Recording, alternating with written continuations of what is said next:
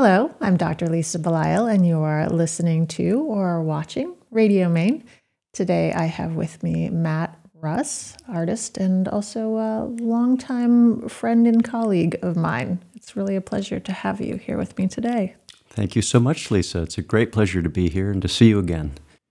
I really enjoy, um, well, every time I see you, actually, but the, the fact that you and I now have known each other for, oh, you know, seven years, something yeah, like that. Somewhere in that neighborhood. Yeah. So there, I've actually interviewed you a few different times for various reasons. Right. So it's kind of a, it's a strange, strangely public, continual iteration of our ongoing friendship relationship with one another. Yes. That not everybody has that kind of back and forth the way that you and I have had.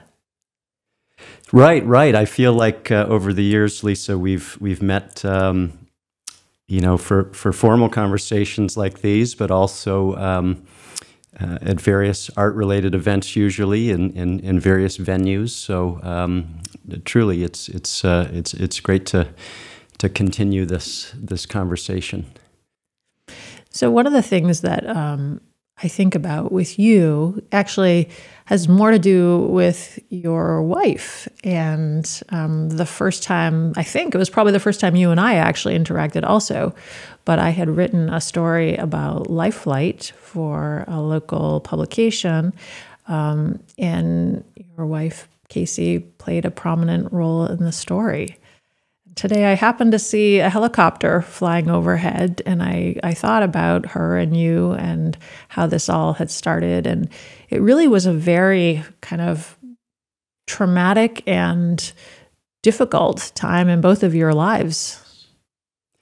Yes, uh, Lisa. Um, in, in 2011, um, my wife was in a very serious accident. Um, she was in a plane crash, in fact, um, flying in a small plane um, from Matinicus Island, which, uh, for those who aren't familiar with, is an island about 20 miles off the coast of, of Maine. Um, she was out there visiting a friend and, and um, was flying back to the mainland in a small plane that um, crashed into the ocean.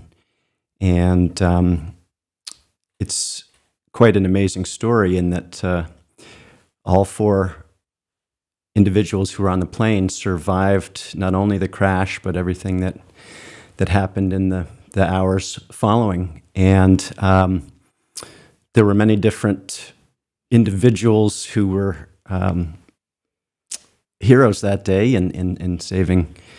Uh, my wife KC's life, um, and also the others on board. Um, but one of the prominent players was uh, Life Flight of Maine, which, uh, for those who aren't familiar with Life Flight, is helicopter, now also airplane uh, based um, emergency medical transport service that, that covers the entire state of Maine. And uh, KC was um, ultimately transported from uh, Pen Bay Hospital in, in Rockland um, to Central Maine Medical Center in Lewiston, um, where she uh, underwent um, life saving surgeries. And um, as you say, it was it was quite a traumatic time for the both of us. But um, as as the years have have gone by, we've been able to reflect upon um, the positive aspects of of of that that experience, um, in the sense that uh, we learn much more about Life Flight of Maine and what what that service does for countless people um, throughout the state uh, over the years. So we've both become um, quite active in, in uh, fundraising for Life Flight, and, and um, we've gotten to know not only the the, the pilot and the, the, the flight paramedics who were on KC's actual flight, and I believe when you interviewed KC for that story, uh, they were also there for the conversation. Uh, incredible individuals but also the entire organization and, and what they do. Um, so, uh, you know, obviously, if we could go back in time, we would not have gone through that experience, but we did, and um, it's a happy ending.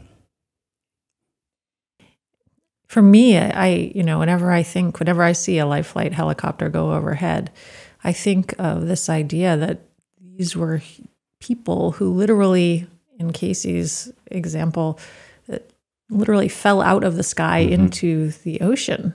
And also, um, this this sort of interim piece that I believe that there are many local people who got on their boats, saw this happen, and went rushing out to the scene to try to help with this um, what really was a catastrophe. Mm-hmm.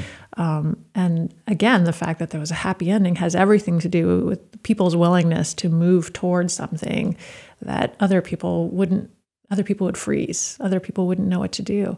I think that speaks so strongly of what we have here in maine the sense of community the sense of willingness to help our neighbors and kind of step toward challenges rather than just let people deal with their things on their own. Has that been your experience living here? Absolutely, Lisa. Um, I was born in Maine and, and, and, and grew up um, not far from where the studio is uh, in, in, Cape Elizabeth. Um, but I've traveled all over the state in my in my life, um, and I think there is this great sense of of community, as if Maine is a small town. Um, I'm sure I'm not the first to to use that analogy, but um, uh, that particular accident was was a case in point where, um, as you mentioned, the local people of Matinicus Island, uh, lobstermen, in fact, were the first on the scene. And, and when the call went out um, after the the plane had gone down, um, the fleet of, of lobster boats, um, as I understand it, tore out across the bay and and um, directly into the into the um, into the fray, as it were. And if it wasn't for good people like that, um, things could have could have taken a different turn. So yes, indeed, I I, I feel it every day um, as I as I travel throughout Maine. Um, a great sense of um, community and and um, general respect for for for one another. Your pieces also reflect your love of Maine. And, and that's literally a situation where you step into what you are trying to um, capture because you will put your equipment on your back and hike for quite a ways to set yourself up in a place where you can fully experience what you're trying to capture. Tell me about that. I'd be happy to, uh, Lisa. In fact, uh, this painting uh, that hangs um, behind us is is a is a a perfect example of um, what you're referring to, and uh, I'll talk more about it specifically um, in in a, in a minute. But um, generally speaking, my my mode of, of working has always been um, to work directly in the field. Um, I do have uh, an art studio uh, in Waterville where I live, um, but I do very little actual painting in that space. It's really sort of a um, a staging area for the painting excursions that I take uh, all throughout the state. Um, my true studio is uh, really a, a, frame pack that I carry on my back um, that carries my um, foldable French easel, as it's called, and all of the gear that I would need for, for a day of painting.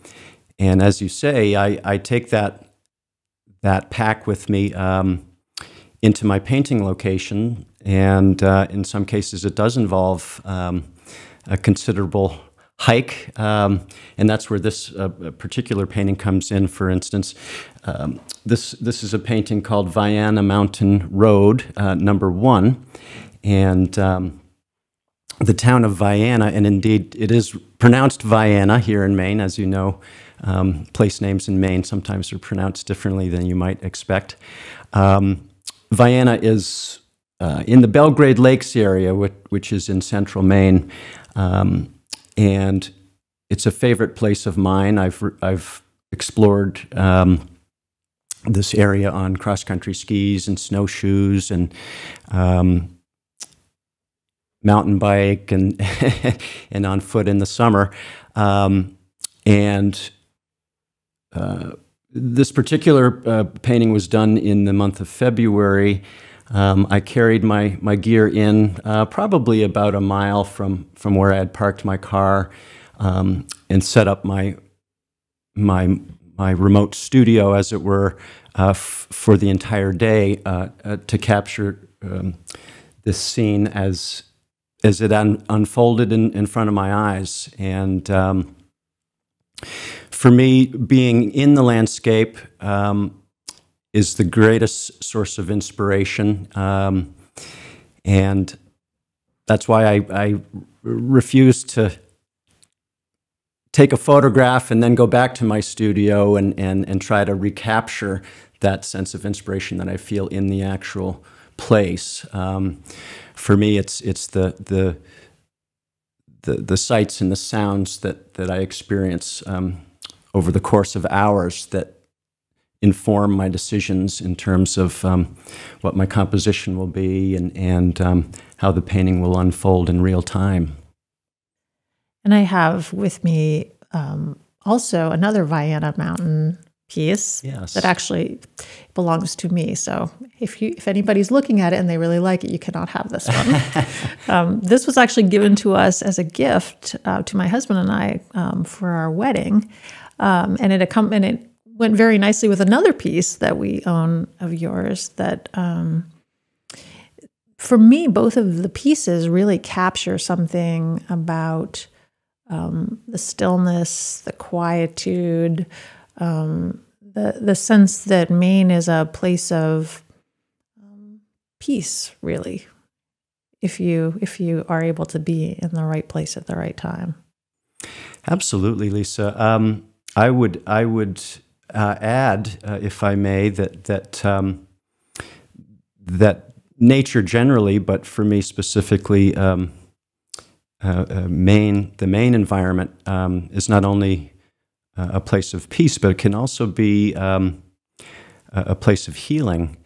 Um, and if I may, I'd like to share with you um, an experience I had as a, as a young person uh, back in 1987, I guess it was. I was in seventh grade. Um, I underwent uh, surgery for scoliosis, which is a a congenital uh, curvature of the spine, um, something that I, I, was born with and, and had been monitored as I, as I was growing.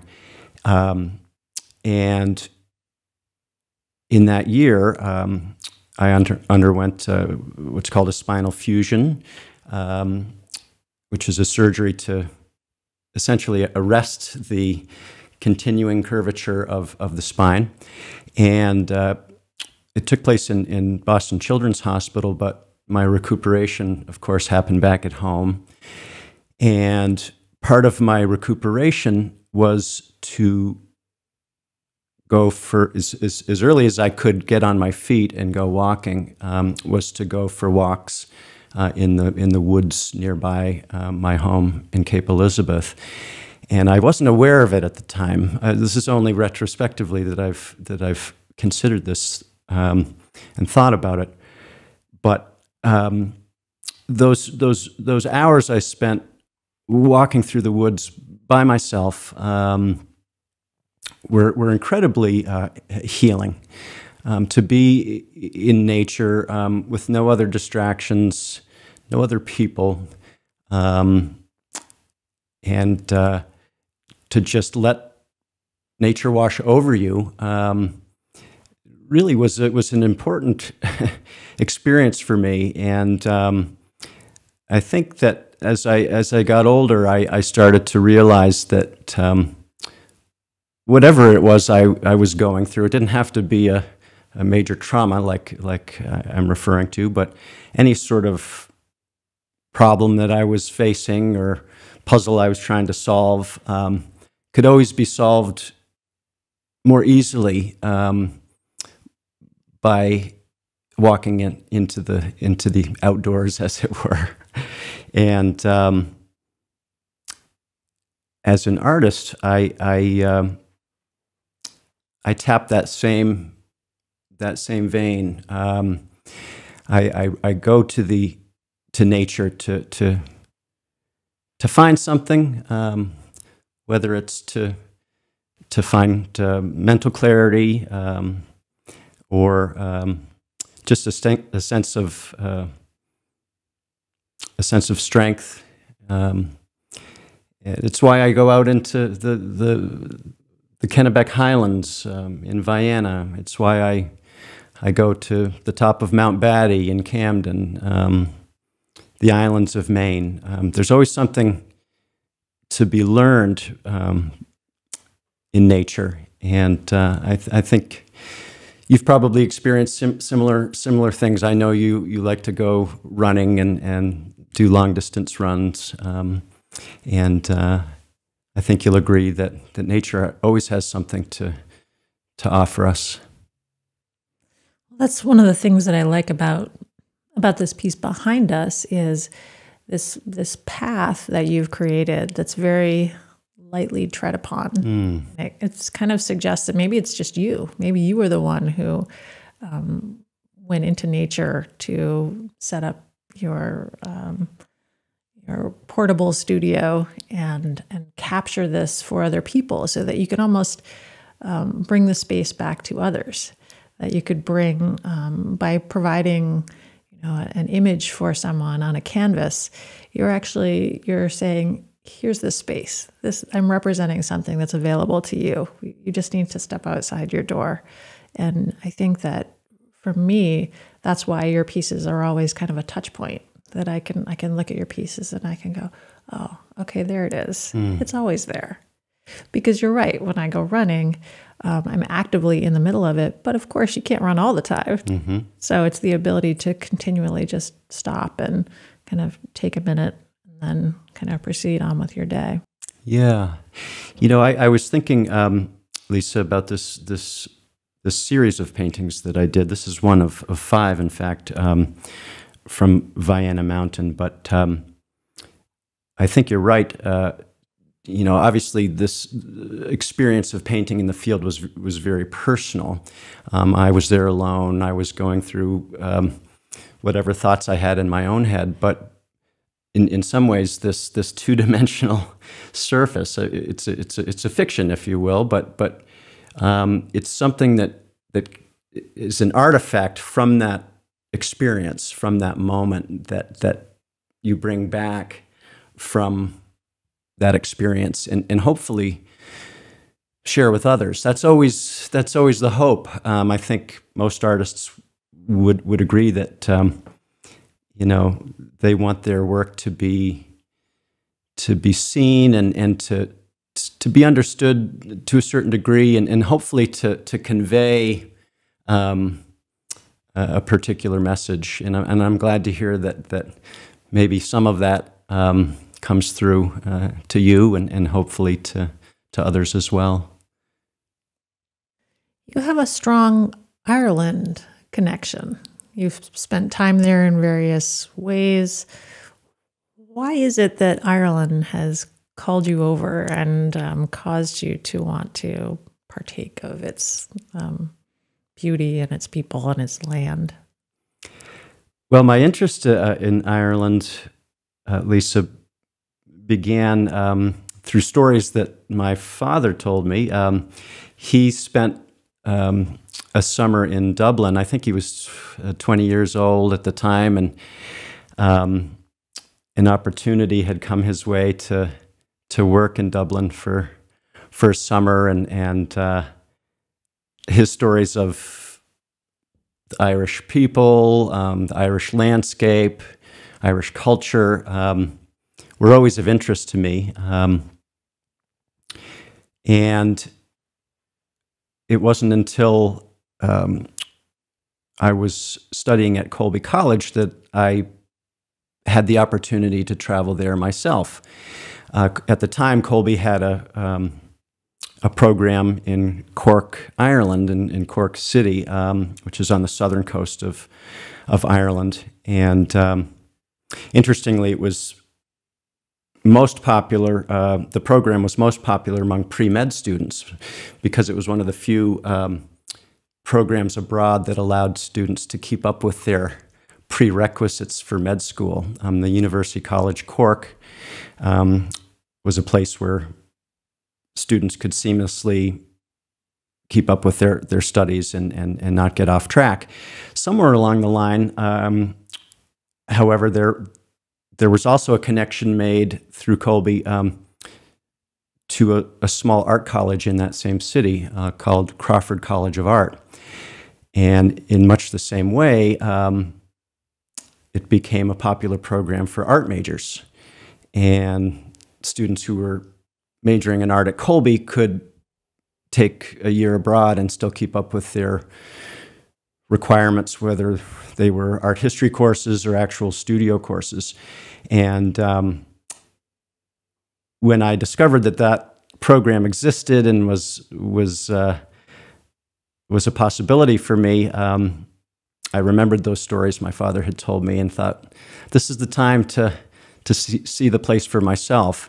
So indeed, I spent my entire junior year um, of college uh, in Cork, um, studying art, um, but perhaps more importantly, um, expanding my my horizons. Um, Ireland is an, an, amazing place. I don't know if you've ever been there, um, but um, the landscape is incredibly beautiful. Uh, there's some parallels to Maine. Obviously, the coastline it's one big coastline when you think about it. Um, but particularly the west coast is, is a very, very rugged and, and, um, and wild place that, that is sort of the mirror image of um, Maine's coast. Um, but also, uh, I found the, the Irish people to be really uh, incredibly warm and, and, and wonderful, um, very welcoming. Of course, there's the connection the, the historical connection between America and, and Ireland. But um, the friends I made there um, were just so special. Also, very, um, very musical um, culture, and that was a huge part of my experience there as well. Um, one thing I, I, love about Ireland is that music is everywhere, and, and it can exist um, in, in informal ways wherever you go. So that, for instance, um, walking into any pub in Cork, um, you were likely to find a group of musicians casually uh, gathered, um, playing traditional tunes, um, not amplified through microphones, but but just in the corner of the room, almost as a as a backdrop to to life. And um, and also, my friends uh, all liked to sing. Um, it was not uncommon to go to a party in Cork, and at a certain point of the night, um, someone would turn the stereo off, and people would actually sing songs. That was something sort of new to me, but of course, is not new to the to the human to the human race. So. Um, I think you're very impressionable at that age as well, junior in, in college. So I, I uh, absorbed a lot of, of that and, and um, tried to carry it with me um, when I returned back to the States. Um, just that sense of, of fun, of, of music, um, of adventure. And um, I've been back a number of times. I, I went back um, after I graduated from, from Colby and, and uh, through a, a work visa program. Uh, worked for an additional year back in Cork City, which was which was wonderful. Um, but I have not gone back in the the guise um, of an artist, and I'd like very much to do that. I, I know that there are. Um, art residencies in different parts of Ireland, and I think it would be really fun to to go back and and um, perhaps interact with the Irish environment um, as, as I have with the Maine environment for so many years uh, through art. Do you have any Irish heritage? I do, in fact, but um, I, I, always felt that I did because of that instant connection I felt when I was there. Um, we recently discovered that that um, my family uh, has uh, roots in Galway, um, in addition to, to other parts of the British Isles. So it was just nice to see it uh, um, confirmed.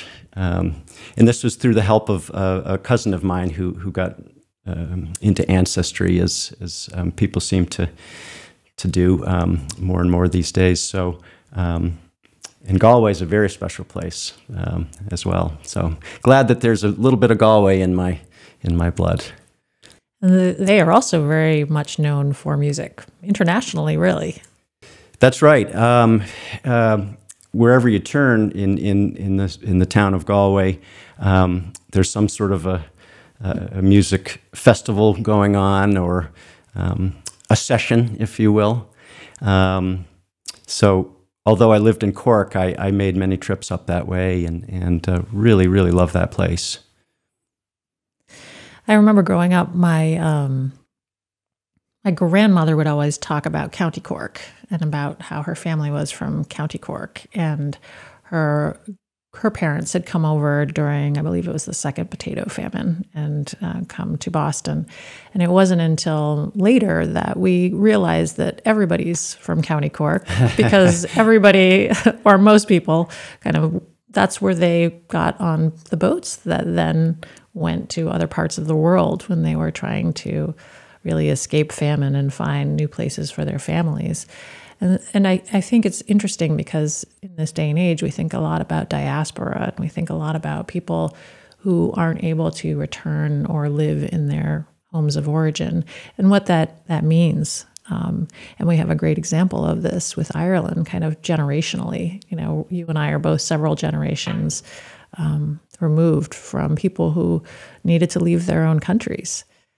Have, have you ever considered this idea that, you know, in some way you, you felt called to return to a place of your ancestors?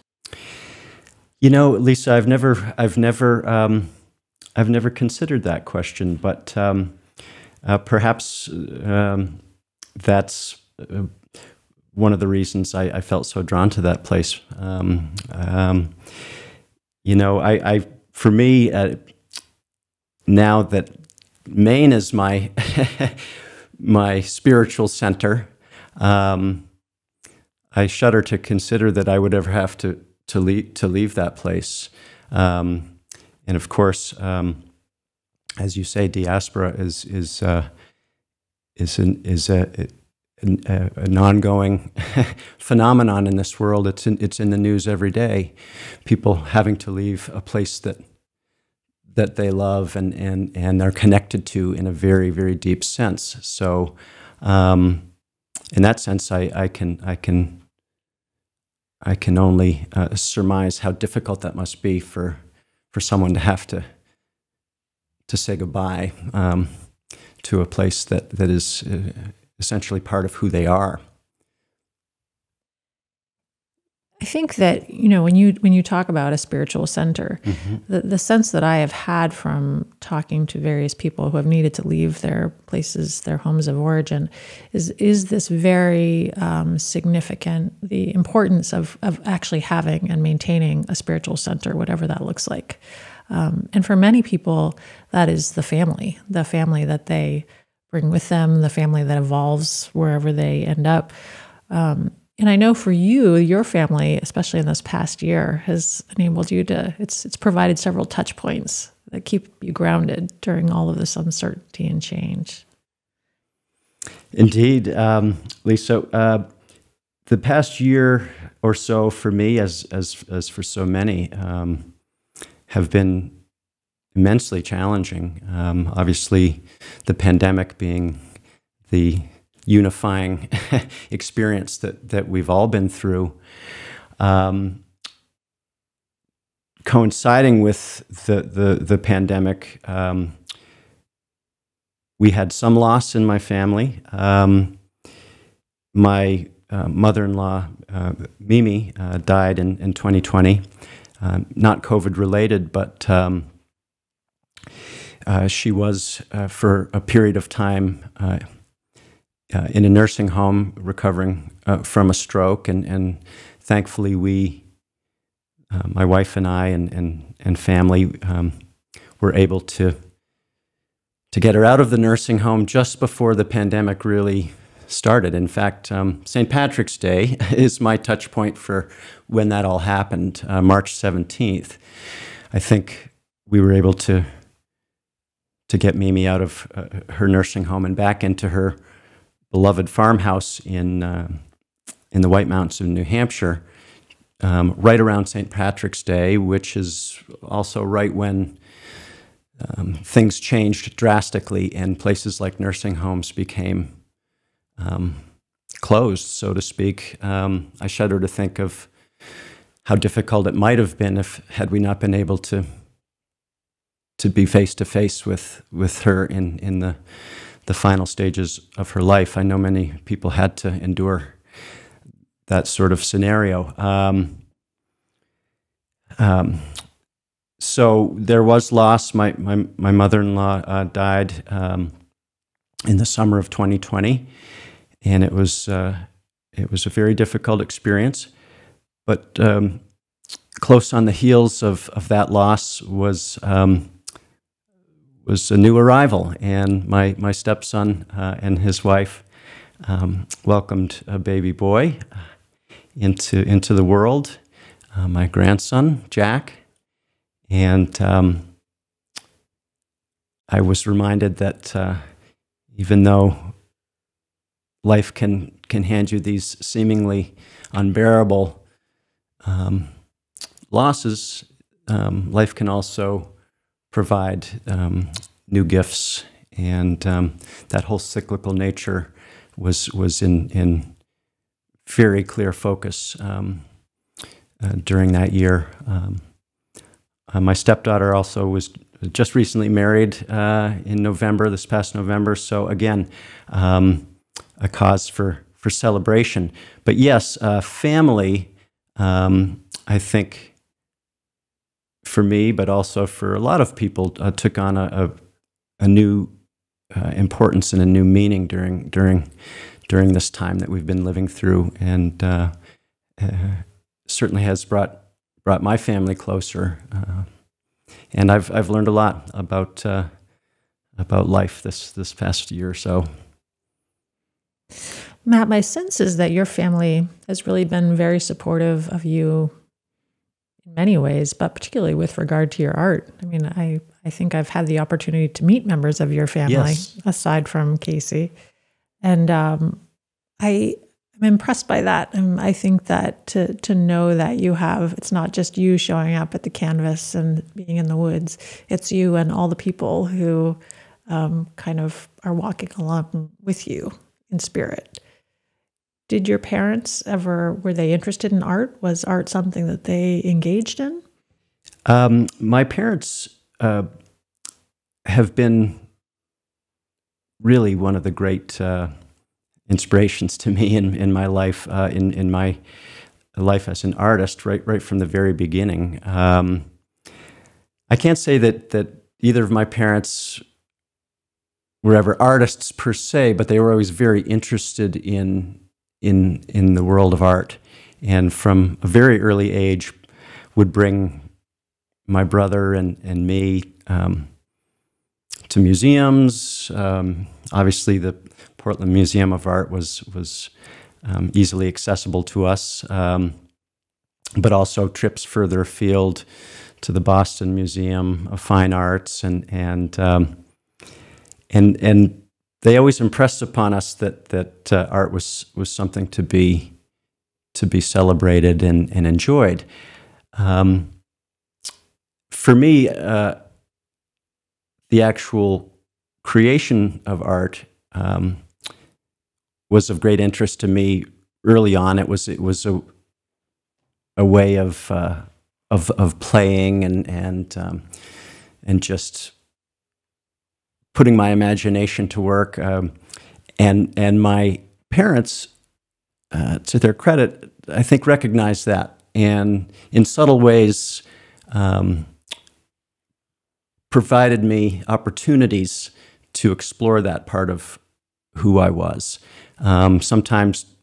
Um, just the simple act of providing me materials, nothing fancy, but there was always a, a pad of paper available. There, there were always um, markers. There were always crayons. There were always pencils. Um, and I think they saw what joy it brought me and um, just wanted to make sure that um, if it was something I wanted to continue with, they would always um, support that. And sadly, uh, I've I've met friends in my life who had similar impulses, um, whose families didn't necessarily support um, that exploration.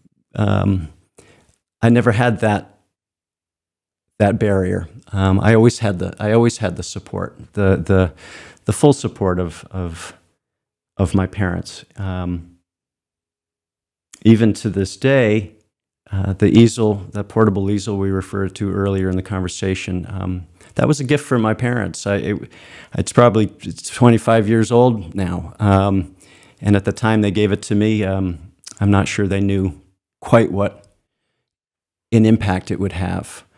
But um, again, uh, that easel sort of represents that that um, that support that I've that I felt all along, and I'm very very grateful for it. Um, my wife has always supported my my my pursuit of um, of an art career. She knows how um, how it's it's it's who I am, and um, so to to to know that um, there there are those of me uh, th- those out there who are um, cheering me on um, really really uh, makes a huge huge uh, difference as I as I continue to to explore. Matt, I learned something different about you every time we talk. so it's really been my pleasure to have the time to spend with you today and kind of catch up on this latest iteration of your of your life. And um, I appreciate your willingness to come in and, and talk with me today. Lisa, it's always a pleasure to talk with you, and thank you. Can't wait to see you again. Absolutely. I've been speaking with artist Matt Russ. You can see his work at the Portland Art Gallery and on the Portland Art Gallery website. I hope that you have a chance to interact with him at an upcoming uh, art gallery opening, maybe maybe post COVID when things open up a little bit more. He is um, truly a wonderful human being, and I'm I have his pieces in my home, and I, I am reminded of this on a regular basis. But today it's been my my good fortune to have you in person. Thank you, Matt. Thank you, Lisa.